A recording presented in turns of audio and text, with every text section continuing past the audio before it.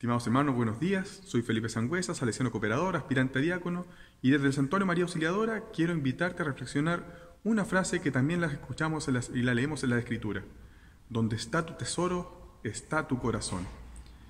Cuando nosotros tenemos nuestro tesoro en los diferentes lugares, ya sea en las cosas materiales, ya, sea en la riqueza, ya sea en los logros personales, Ahí está nuestro corazón, ahí está todo nuestro sentido, no solo el corazón sentimiento, sino nuestra razón, la corazón.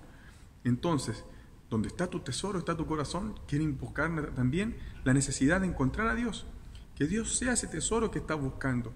El reino de los cielos se parece a un tesoro escondido.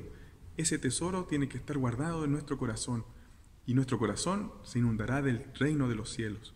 En este día te invito a que de a poco, ¿cierto? Haciendo un ejercicio espiritual, vayas teniendo esa noción de que el tesoro de tu corazón sea el reino de los cielos, sea Dios, para que lo demás venga por añadidura. Que el Señor te bendiga en este día, el que es Padre, Hijo y Espíritu Santo. Amén. Que tengas una excelente jornada.